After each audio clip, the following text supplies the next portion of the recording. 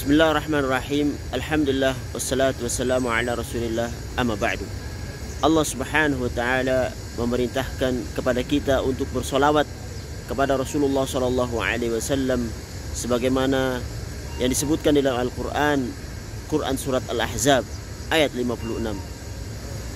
Inna Allah wa malaikatahu yusalluna 'alan nabi ya ayyuhalladzina amanu sallu alaihi wa sallimu taslima.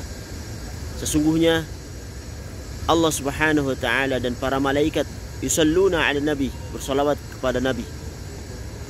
Ya ayyuhalladzina amanu, wahai orang-orang yang beriman, sallu alaihi wa sallimu taslima.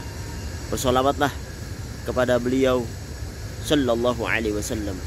Allahumma salli ala Muhammad wa ala alihi wa ashabihi ajma'in.